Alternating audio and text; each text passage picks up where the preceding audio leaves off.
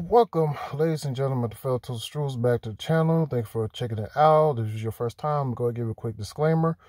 First of all, please make sure you stay hydrated. All right. Second thing I'm to give is usually I try to go ahead and knock out the majority of my thought processes. And when particularly what I want to discuss in the first five minutes, if I possibly can, if I can't, then at that point you can check out if you want to. It is what it is. But this real quickly, I just want to kind of get off from the top of my head. Because I just came back from walking my neighborhood. And today was a very eye-opening day for me. Because for those who might have came from my previous videos, you might have heard me speak of my father several times. And the reason why I'm going to bring him up again this point is because he reminded me of something that I think too many times, regardless of wherever you are in the world, we don't often speak about these things or we don't really take the time to really acknowledge these things. Is that, and just so you guys know, for anyone out there who's a parent, right? For anyone who has children, for anyone who has, who's you know has close ties with your family and whatnot, or even people who are not you know blood through blood related to you. I just essentially what this message but the video really is going to be is just kind of like just want me just give y'all a quick PSA real quick. And just know that it's okay. It's okay. Don't be afraid to admit the truth. When you are in a position that is not in your favor but you have to make an uncomfortable decision. And the reason why I just want to ahead just give that to y'all real quick is because today I almost struck my father, and just for context, y'all, not my biological father, my stepfather. And you know what? For the rest of this video, I'm not going to refer to him as my father. I'm going to take that back for the rest of this video, I'm just I'm going to say my stepfather. The reason why I'm gonna do that, y'all, is because you know is and uh, from young men out there, any for anyone, period. But this more so to my young men out here. I understand. I truly mean this when I say this. I truly I do understand that if you are in a position right now where you're taking care of family members or you're doing, you're upholding some responsibilities that sincerely in your heart of hearts feels if this shouldn't be your responsibilities at this point in time for you, right? Especially if you're in your 20s or what have you. And of course, especially if you have siblings that let's say don't have to harbor the kind of stress you have to be under. And that's not to say they don't have their own stress in life or what have you, but it's like at this point it feels as if you're fighting a battle by yourself, but then everyone who suggests they're allies to you are just want to go about their business and act like you don't need help. And granted, when you bring it up, even when you bring it up, they still, not all of them, but some of them still want to just pretend as if you're not on the battlefield losing your life. They really don't want to acknowledge the fact that every single day there's a piece of you being chipped off. And the amount of sacrifice you give every single day, try to sustain yourself while a bit of you is being chipped away as time progresses. And the thing is this, y'all. With my stepfather, I've been trying to be as patient. I have been trying my hardest, and I mean that to the bottom of my heart, not to go down that road. Because at the end of the day, all the thing is this it's not going to benefit me any kind of way to put my hands on him. It's not. Because let's say if I put my hands on him, and just so you guys know, like I've said before, he's not in the best his best health. So think about like this. On top of what we as a family, right? Not just me, of course, my family as a whole had to do for him.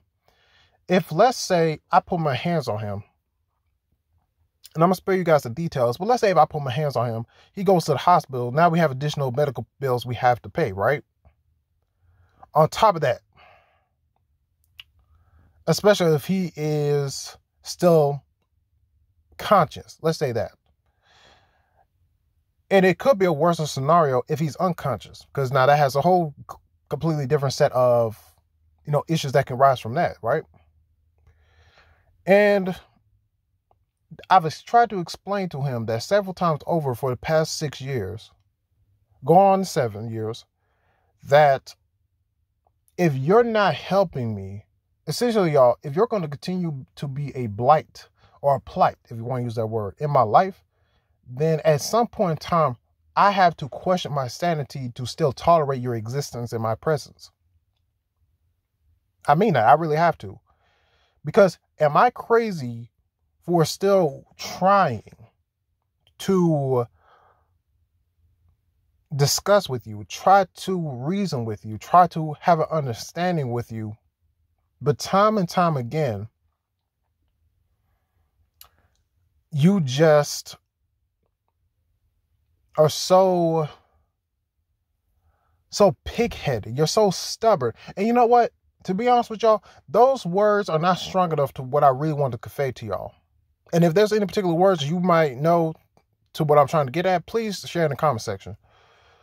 And I'm not gonna be on here for too long. I just want to say this though, overall, is that what I had, what I was reminded today, y'all, is this: it's not. Don't be afraid. Don't be scared to admit to yourself. Tell yourself the truth. That it's okay to admit you've done all you can. You've given more than most people would be able to give. Because I've told them this too. And let's all be honest. Let's all be honest when it comes to the care of family, especially in their health, and when I speak of their health, y'all, I'm just, just talking about the physical. I'm talking about the mental. I'm talking about the emotional. I'm talking about the spiritual health of that individual. How draining it is for you to give your inner resources, right? Because my patience, your patience, everyone's patience, patient in itself is a resource. Love in its own right can be a resource understanding, empathy. Pardon me, y'all.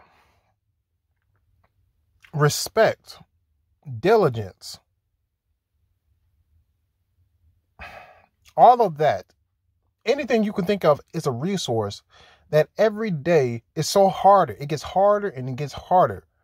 The uh, the, uh, excuse me, y'all and it can get harder given the circumstances someone of us might be in and that stuff can you know just flip on its head and so what i just want to go ahead and let you guys know is that don't be afraid to just and i'm being serious here y'all don't not be afraid to just take five minutes nah fuck that take a take as much time as you need to just say okay i'm at a point in my life right now that I want to scream the top of my lungs out, but then there's that part of you that says, "What's really, what's any good of that?" That's not going to change your situation. That's not going to improve your situation. So it's like, what's what's the purpose? What's the reason? There ain't no really reason. If you come to that point, sit back, just really work it out in your mind, and then apply. Now, don't get it twisted, y'all. I would never want to encourage y'all to, by all means, put your hands on somebody, because at the end of the day, y'all, I don't want no one get into any issues with the law. I don't want y'all getting into no issues with your family like that. But I'm going to say this though. If it comes to that point where you can the God's truth, y'all, if it has gone to a point where you feel as if you're about this much, right? Like this much of losing your shit, if I may, entice y'all to do this. Because this might help you out like it helps me out. Is just understand that in the grand scheme of things, this moment will pass. But that's not to tolerate it to continue. It's about have that honesty to say enough is enough. Stand by your own two feet and say what you have to say. Get off of whatever in your chest in the best way you feel like you have to get off your chest. Because at the end of the day, y'all, this is your fucking life. I don't give a fuck what anyone says. This is your life.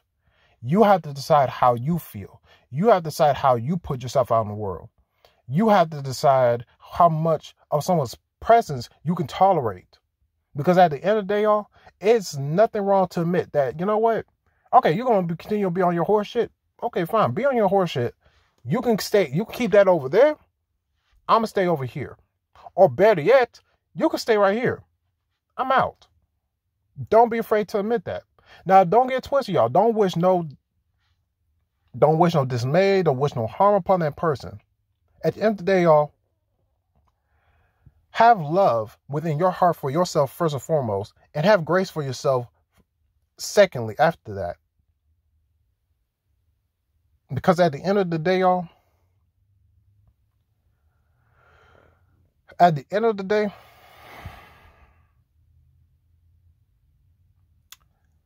you always have to take this. And again, I'm just saying this to y'all. And again, if you want to disagree with me, get me in the comment section you want to. But at the end of the day, y'all, at the end of the day, you got to check yourself first and foremost before you can check anybody else. Check yourself, or if you know the saying I'm about to say, and I'll close it on this check yourself before you wreck yourself.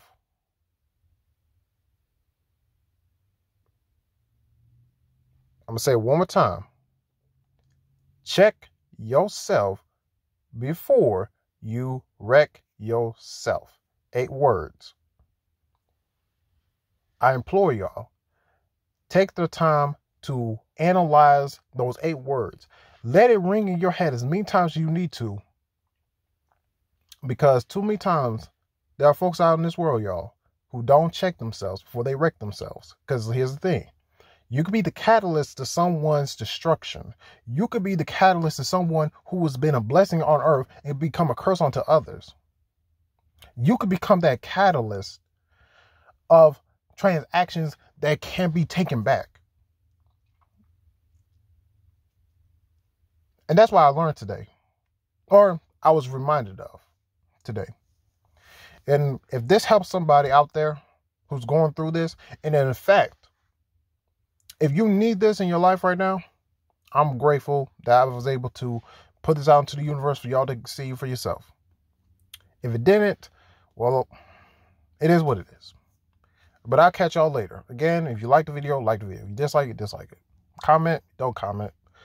Subscribe, subscribe, don't. It's all good. I'll catch y'all later. Peace.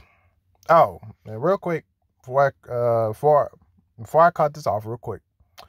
Um, just make sure y'all, please, please, I mean this to the bottom of my heart, please. Take care of yourself Take care of yourself physically, take care of yourself mentally, take care of yourself emotionally, take care of yourself spiritually in the best way you possibly can. Have patience for yourself, have grace for yourself that if you falter, y'all, you can get right back up. With all that being said, I love y'all. Peace out.